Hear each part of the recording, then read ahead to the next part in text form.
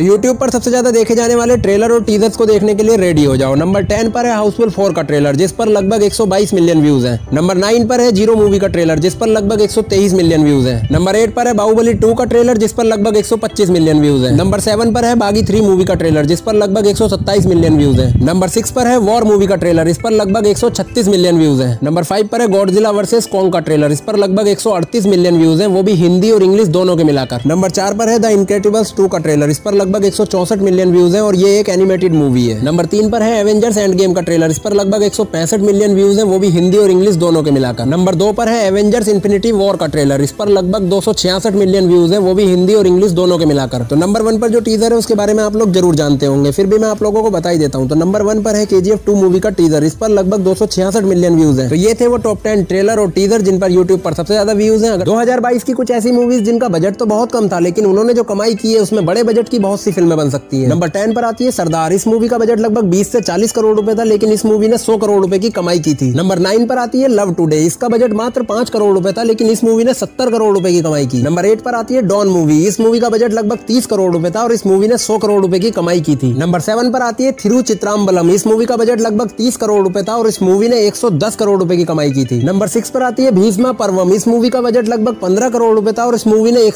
करोड़ रुपए की कमाई की थी नंबर फाइव पर आती है सेवन सेवन सेवन चार्ली, इस मूवी का बजट लगभग 20 करोड़ रुपए था और इस मूवी ने 150 करोड़ रुपए की कमाई की थी। नंबर फोर पर आती है दृश्यम टू, इस मूवी का बजट मात्र 50 करोड़ रुपए था, लेकिन इस मूवी ने एक सौ छियासी करोड़ रुपए की कमाई की। नंबर थ्री पर आती है कार्तिकेय टू, जो की पंद्रह करोड़ के बजट में बनी थी और एक सौ बीस करोड़ रुपए कमा कर गई। नंबर टू पर आती है द कश्मीर फाइल्स, इस मूवी का बजट मात्र पंद्रह से पच्चीस करोड़ रुपए था, लेकिन इस मूवी ने तीन सौ चालीस करोड़ रुपए की बंपर कमाई की। नंबर वन पे जो मूवी है, उसका नाम मुझे गैस करके कमेंट में बताएँ। तो बॉलीवुड एक्टर्स की वो कौन सी मूवीज़ है जो उनके करियर की सबसे ज़्यादा कमाई करने वाली मूवीज़ बनी? तो नंबर एट पर है सैफ अली खान और अजय देवगन की मूवी तानाजी, जिसने लगभग तीन सौ सड़सठ करोड़ रुपए की कमाई की थी। नंबर सेवन पर है शाहरुख खान की मूवी चेन्नई एक्सप्रेस, जिसने लगभग चार सौ तेईस करोड़ रुपए की कमाई की थी। नंबर सिक्स पर है टाइगर श्रॉफ और ऋतिक रोशन की मूवी वॉर जिसने लगभग चार सौ छिहत्तर करोड़ रुपए की कमाई की थी। नंबर फाइव पर है रणवीर सिंह और शाहिद कपूर की मूवी पदमावत, जिसने लगभग पाँच करोड़ रुपए की कमाई की थी। नंबर फोर पर है रणवीर कपूर की मूवी संजू, जिसने लगभग पाँच करोड़ रुपए की कमाई की थी। नंबर तीन पर है अक्षय कुमार और रजनीकांत की मूवी रोबोट 2.0 जिसने लगभग 600 करोड़ से लेकर 800 करोड़ रुपए के बीच में कमाई की थी। नंबर टू पर है सलमान खान की मूवी बजरंगी भाईजान, जिसने लगभग नौ सौ उनहत्तर करोड़ रुपए की कमाई की थी। और नंबर वन पर है आमिर खान, जिनकी मूवी दंगल ने लगभग दो हज़ार करोड़ रुपए की कमाई की थी। तो ये थी वो टॉप मूवीज़ जिन्होंने बॉक्स ऑफ़िस पर सबसे ज़्यादा कलेक्शन किया। तो जहाँ एक और बॉलीवुड की किसी भी मूवी को पचास करोड़ रुपए कमाने के लिए इतनी ज़्यादा मेहनत करनी पड़ रही है, वही साउथ इंडस्ट्री की वो कौन सी मूवीज़ है जिन्होंने मात्र दो दिन के अंदर सौ करोड़ का आंकड़ा पार कर लिया था? तो फिर से मज़ेदार वीडियो लेकर आए आपके लिए तो वीडियो को लाइक करके चैनल को सब्सक्राइब कर लीजिए। तो सबसे पहले बात करते हैं थलापति विजय की मूवी बिज़ी और सरकार के बारे में। इन दोनों मूवीज़ ने ही सौ करोड़ का आंकड़ा मात्र दो दिन के अंदर पार कर लिया था। और तो और ये मूवीज़ पैन इंडिया मूवी भी नहीं थी, ये सिर्फ़ साउथ में ही रिलीज़ हुई थी। इसी के साथ सायरा नरसिम्हा रेड्डी, बाहुबली और कवाली इन तीनों मूवीज़ ने भी दो दिन के अंदर सौ करोड़ का आंकड़ा पार कर दिया था। अब इसी लिस्ट के अंदर कुछ ऐसी मूवीज़ भी है जिन्होंने सौ करोड़ रुपए कमाने के लिए एक दिन का समय भी नहीं लिया था। जिसमें से पहली है रोबोट टू पॉइंट ओ दूसरी है बाहुबली टू तीसरी है साहो